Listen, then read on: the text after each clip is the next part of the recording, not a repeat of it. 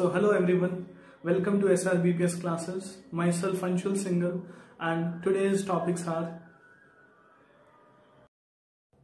solution, suspension and colloids.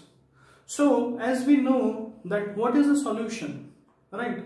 In which, in which a particle is there which is in less amount and a particle is there which is in more amount. The particle which is in less quantity is called solute and which is in major quantity is called solvent. When they mix together, when they mix together they form solution, right? As we can see from the picture itself.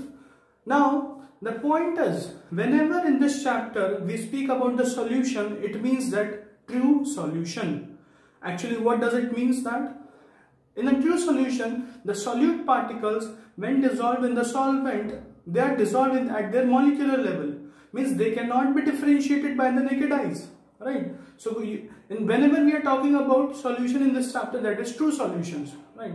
Now we will study some properties of the solution. The very first one is homogeneous mixtures in which the solute and solvent are completely dissolved. We cannot identify them. Right? The second important property is site of the solute particles is very small. That is exactly like 1 nanometer. And you cannot see even through microscope. Right the fourth and very important property is they do not scatter the beam of light. It means they do not show the Tyndall effect. We will study this in the colloid part.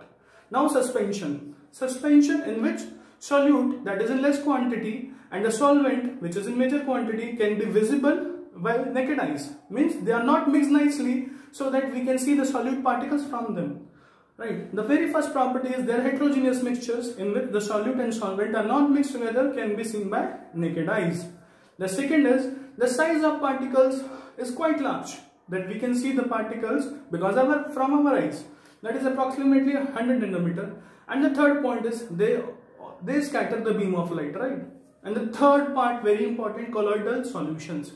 Here it is very important to note that it is an intermediate between solution and suspension. What it is?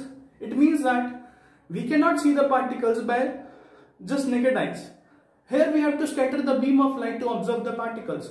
Then we are able to see the particles, right? When we put a beam of light on the beaker in a dark room, then we can see the particles over there. Hope you like the video.